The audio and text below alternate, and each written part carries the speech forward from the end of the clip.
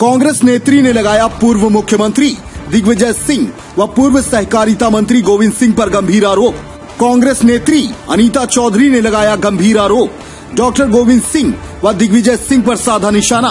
गोहद विधानसभा में टिकट न मिलने से नाराज़ नज़र आई अनीता चौधरी। सर्वे के अनुसार कई बार पैनल में नाम आया। टिकट न मिलने की वजह गोविंद सिंह व दिग्विजय सिंह। कांग्रेस में गुटबाजी का सिलसिला नहीं थम रहा है। बीएसपी पार्टी के प्रदेश अध्यक्ष बीपी चौधरी की पुत्रवधू हैं, अनीता चौधरी। पत्रकार वार्ता में खुलकर बरसी अनीता चौधरी। 2011 से कांग्रेस पार्टी में काम कर रही हैं अनीता। डॉक्टर गोविंद सिंह पर अपनी तानाशाही का आरोप।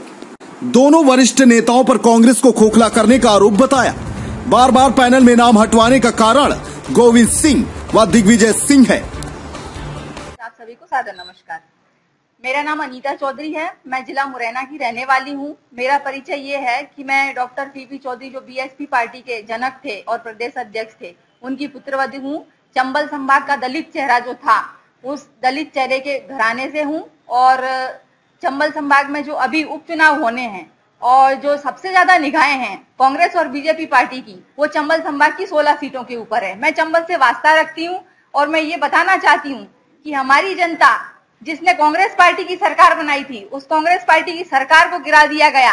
अब चुनाव होने वाले हैं तो जनता की फिर से वही आवाज़ है कि हमारी कमलनाथ की सरकार फिर से दोबारा आए। उस सरकार को लाने के लिए जनता ये चाहती है कि जिताऊ प्रत्याशी को टिकट दिया जाए। जैसा कि आप सभी की जानकारी में होगा कि सर्वे के आधार पर कमलनाथ जी ने कहा था कि हम टिकट देंगे। उनका कहना सही था, लेकिन कुछ छत्रप्त नेता जो एक तरफा अपनी चलाते हैं, जिसमें से मैं बताना चाहूँगी कि हमारे चंबल संभाग में डॉक्टर गोविंद सिंह जी हैं, जो लाहौर से विधायक रहे हैं, वो अपनी तानाशाही लड़साई चलाते हैं, जिसके कारण से वहाँ की जनता को काफ़ी अधिक परेशानियों का सामना करना पड़ रहा है। जनता ने आवाज़ लगाई है कि मैडम, आपको हमारी आवाज़ ऊपर तक पहुंचानी होगी, आपको हमारी आवाज़ बनना होगा। कारण ये है कि मैं 2011 से भिंड लोकसभा में तैयारी कर रही हूँ। मेरा हर बार पैनल में नाम होने के बाद डॉक्टर गोविंद सिंह और माननीय दिग्विजय सिंह जी के द्वारा कटवा दिया जाता है। इसलिए मैंने ये आवाज़ उठाई है कि ये तानाशाही अब हम बर्दाश्त नहीं करेंगे।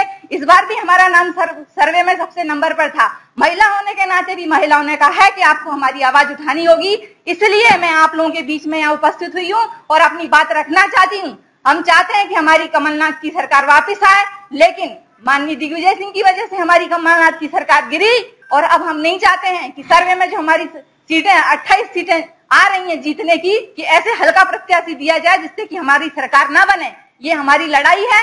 हम चाहते हैं कि जिताऊ प्रत्याशी को मौका मिले, उनको टिकट दिया जाए ताकि हमारी सरकार फिर से बने। और इस आवाज़ को उठाने के लिए मैं आई हूँ डॉक्टर गोविंद सिंह और दिग्विजय सिंह जी, अपने पुत्र मोह के कारण थे कांग्रेस पार्टी को खोखला करने में लगे हुए हैं। और ये वाली बात हम दिखाना चाहते हैं कि हमारी कांग्रेस पार्टी की सरकार कमज़ोर नहीं है।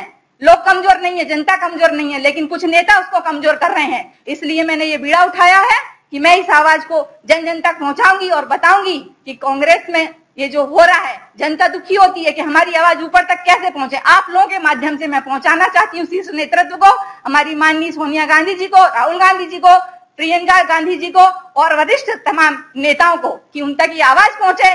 कि चंबल संभाग में हो क्या रहा है? ये अन्याय बर्दाश्त नहीं किया जाएगा।